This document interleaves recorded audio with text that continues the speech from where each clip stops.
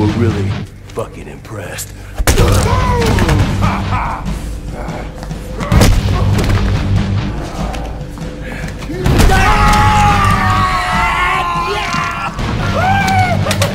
Welcome to the real world, baby! Nighty night, bitch.